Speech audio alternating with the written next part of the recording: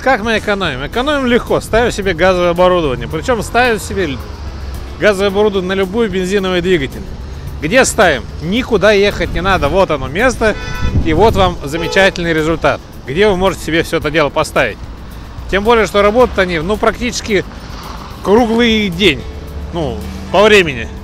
С 9 до 17 часов. То есть приезжайте, доставьте себе газовое оборудование, экономьте. Так же, как это делаю я. Что-то я в этой жизни не пойму. Газ-то по сути везде вкуснее, газа этого много. Вопрос-то в следующем. Газовиков, установщиков газового оборудования много. Кто ставит? И вот тут правило. Хотите, чтобы к вам обращались, так по сути круче ТВ-то и нету.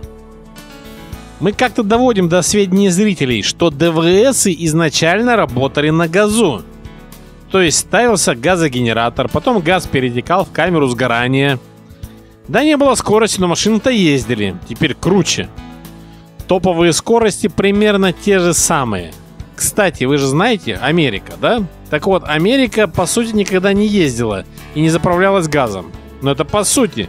Сегодня сейчас я залез на АОЛ, посмотрел внимательно. Так вот, 1600 газозаправочных станций по всей Америке. Конечно, это не то, что Магнитогорск, но и Америка экономит. Кому это надо платить за топливо бешеные деньги? Конечно, электричество рано или поздно выдавит заправочные станции. И в этом никто не сомневается. Но пока и лет так 20 давайте защищать свои кошельки, используя дешевый газ. Так о чем мы говорим? А, в городе очень много различных газовиков, которые ставят вам газовое оборудование. Но не все работают так, как вы. Потому что вот ваш результат. Сколько вы ставите, срок гарантии и вообще. Автомобиль устанавливается примерно за 4 часа, то есть в зависимости от загруженности. Гарантия у нас составляет 2 года или 150 тысяч пробега. Почти на все наше оборудование.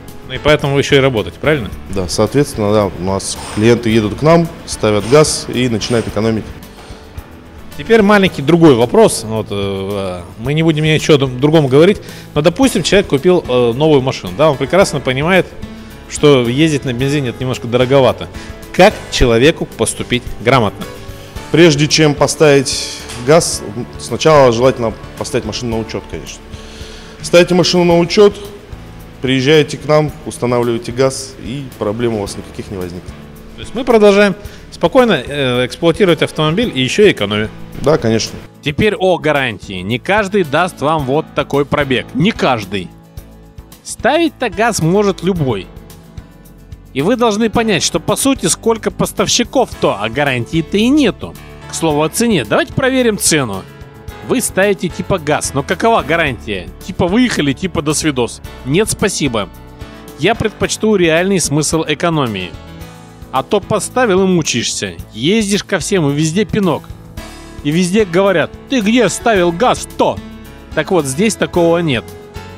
Потому что постановка вопроса говорит об обратном. Здесь не хотят заморачиваться с ремонтом. Делают качественно и надолго. Теперь вариант другой.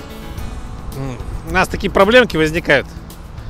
Я бы подумал, что это все-таки некоторое количество связано с коррупцией. Потому что вы же не можете себе газовое оборудование поставить. Хорошо, договорились. Вы себе купили газовую машину. Ну, на газу, которая есть, и реально экономите. Чтобы поставить ее себе на учет. Что вы делаете? Я вам предлагаю приехать сюда. Э, стоимость демонтажа, ну, там демонтаж-то не сильно большой, то есть мы снимаем, получается, два редуктора.